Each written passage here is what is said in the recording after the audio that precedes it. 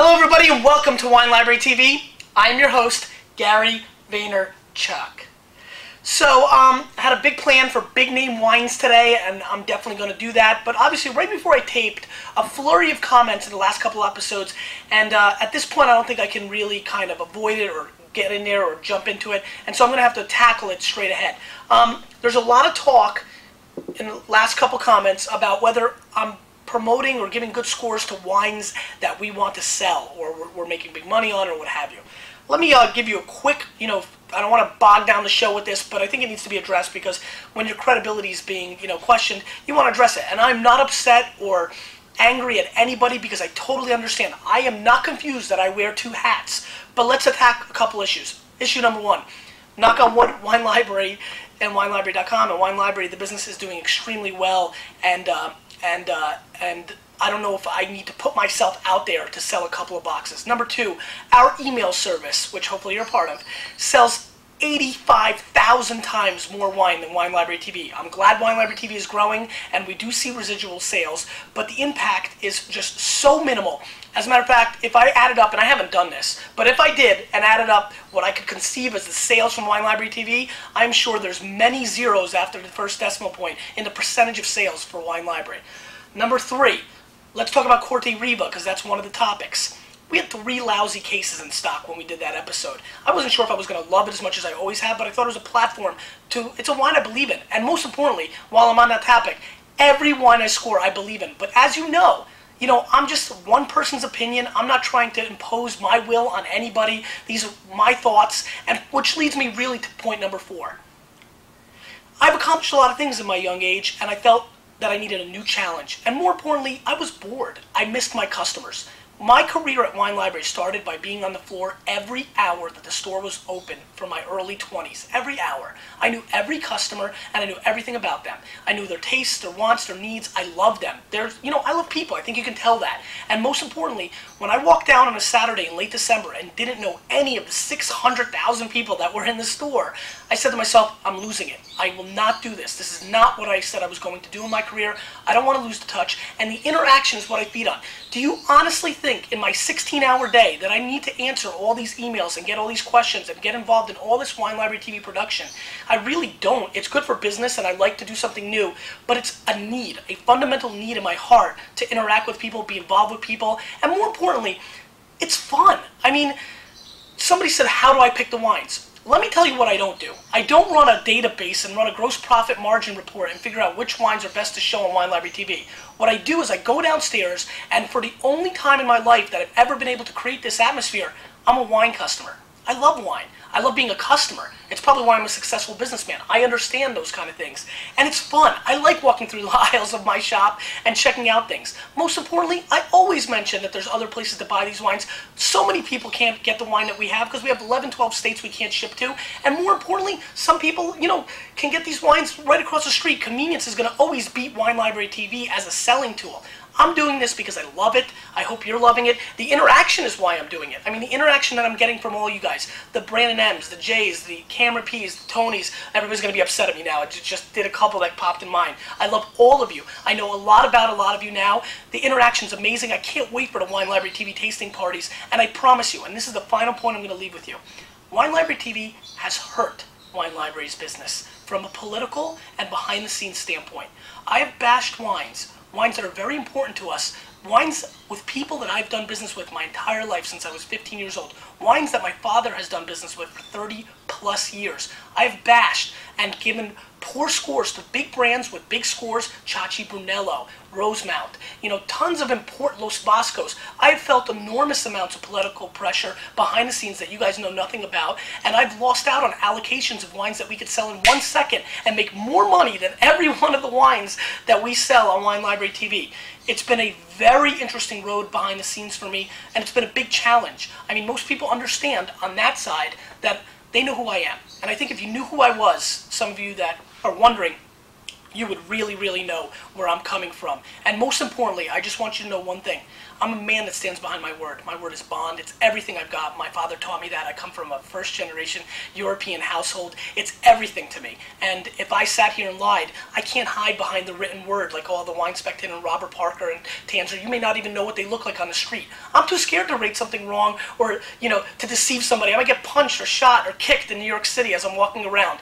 I'm doing this from my heart. I hope you enjoy it. I've wasted way too much time, but I just really felt like I should tackle it. And that gets me into a very controversial episode. It's really ironic that this is what was lined up today when I decided to do this. But we are doing big name wines, and let's get right into them because, boy, do I know how to ramble, and I apologize. Luna di Luna, new label. You know, and by the way, I don't like it at all. I like the old chick on the label. That was pretty cool. Lady, girl, woman. Sorry, not offensive in any way. Anyway, Luna di Luna, six bucks, seven bucks, seven fifty. Chardonnay, seventy percent. Pinot Grigio, thirty percent. I'm doing big name wines today. Wines that you can find in any store that you don't have to buy from the wine library or anywhere else. Costco, Walmart. You know, you can find these wines everywhere. These are the big names in the wine world. And let's see how they're doing. I'm real curious. Get a lot of requests for things like that.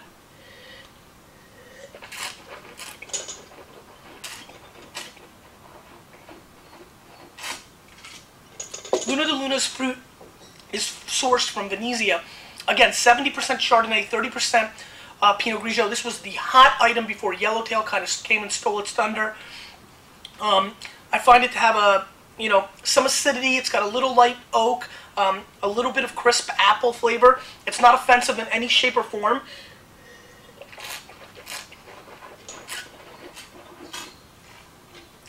it's actually far superior to what I thought going in, and the preconceived notions are going to come in play on every one of these wines because these are big name wines.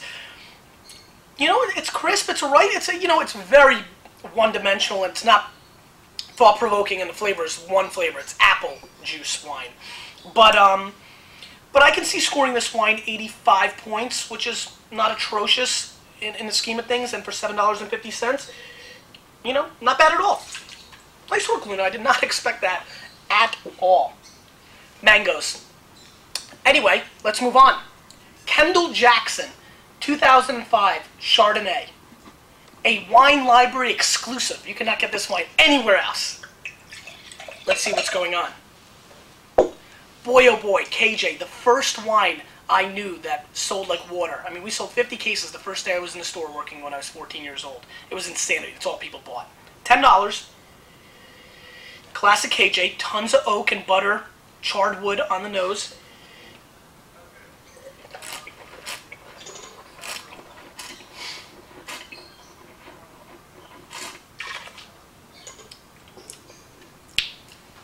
Real, you know, real significant acidity on the finish. Doesn't finish clean at all.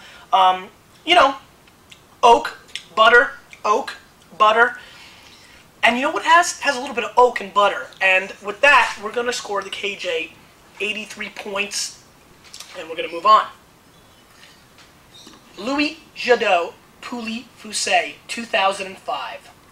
Great producer, about 16 bucks, 17 bucks on the Pouilly Fuissé. Um, Louis if you don't know, 100% Chardonnay. Every time a customer comes into the store and says, can I get a great Pouilly? And we say, oh, we don't have anything we really love, but we have some great Chards. And they say, no, I don't drink Chardonnay. We laugh, we smile, we all high five. It's our favorite moment. It happens three to five times a day. So, maybe you learned something with that. Nice light color, nothing too crazy. Heavy oak. Heavy oak, also very similar nose to the KJ, butter oak. Hmm.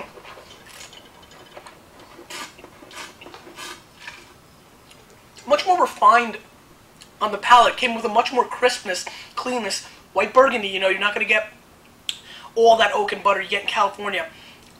I mean, it's got a nice medium body aspect to it.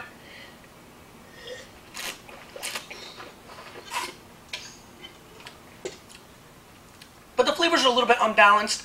Um, I'm not feeling the finish either.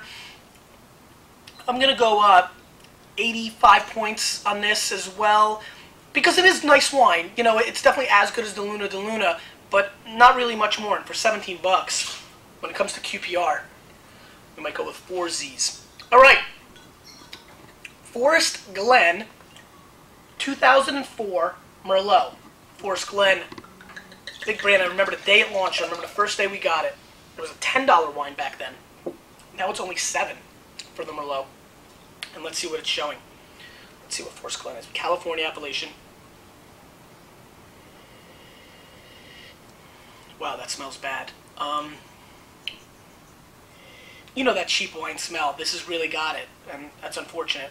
Um, very herbaceous, very um, what is that? Smoky, smoky garbage. Jeez.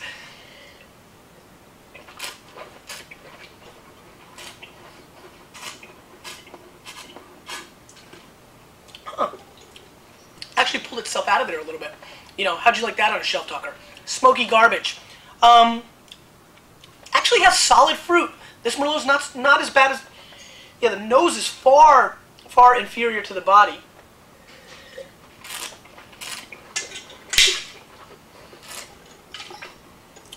Yeah, little candy strawberry, little nice acidity balance, good mid palate, finishes strong.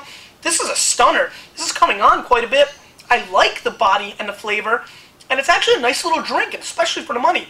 Let's give this wine an 86, but considering it had a 39 point nose, that's a remarkable comeback. Nice shot Forest Glen, and, and you know, definitely if you're at you know one of those fast food, high quality places out there in the country, what are the Applebee's, TGI Fridays, things of that nature around the country, Forest Glen is probably a wine that might be on the list, and this Merlot will not offend you with that burger. Let's move on. Mouton Cadet 2003. 65% Merlot, 20% Cabernet, 15% Cab Franc. Mouton Cadet, along with Corvo Red, were the two biggest selling wines when I first got into the business in, in, in the mid 90s. They were just huge wines. $6.50. Everybody who drank $10 range French red wines bought Mouton Cadet. It was a different world back then. And that was probably indicative of 99% of the retailers around the country. So, let's see. Nice, solid, elegant, kind of, you know, really nice. Yeah, it's got almost like a spearmint kind of nose to it, which is a very awkward smell for a red wine, but it's definitely there. Little oaky, little little cassis, little uh, interesting Bordeaux nose, but classic Bordeaux nose.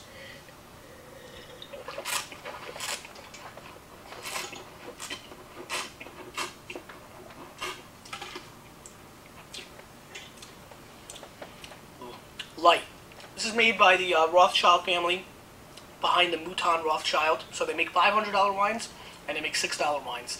Um, it actually showed okay. I was actually starting to enjoy it. The flavors are kind of nice. Nice little hint of cherry, you know, nice little aspect of, uh, you know, cassis. Really nice normal Bordeaux flavors, but then it's extremely light. It's a very light bottle of wine.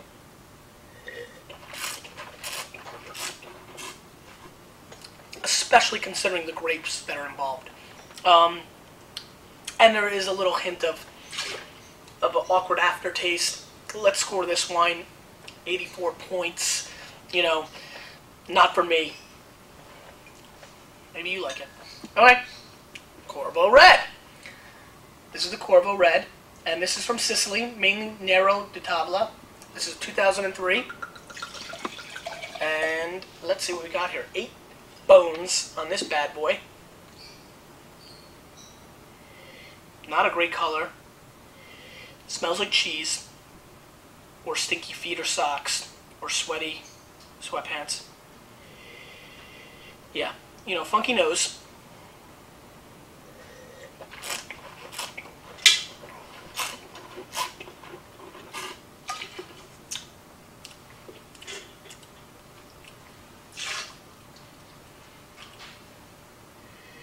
Let's give the Corvo um, 78 points. Um, I pass on every level that fundamentally means anything about wine.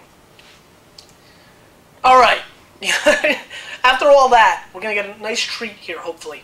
This is the 2002 Silver Oak Cabernet from Alexander Valley. Ironically, we're sold out of this. So, anyway, let's try it. 52 bones, 75 in most places, 110 on lists. Nice color. This is the Alexander Valley, not the Napa Valley. classic Silver Oak nose. I mean, classic. Uh, This is where I, you know, when we do the Wine Library TV tasting parties, we'll do blind. And so if anybody brings a Silver Oak, it's where I can really show my true merit because I could peg this every time. It is that creamy, milky oak flavor. Very few wines have this exact eucalyptus nose. This is Silver Oak every time.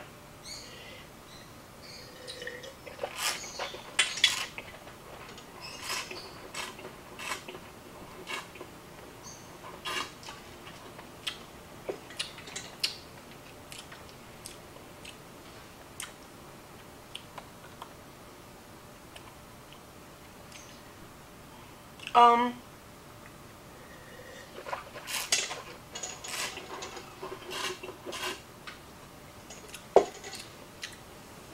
oof. I should mention we are getting more cases, so I want to, you know, make that apparent. Um, I don't like this wine at all, actually.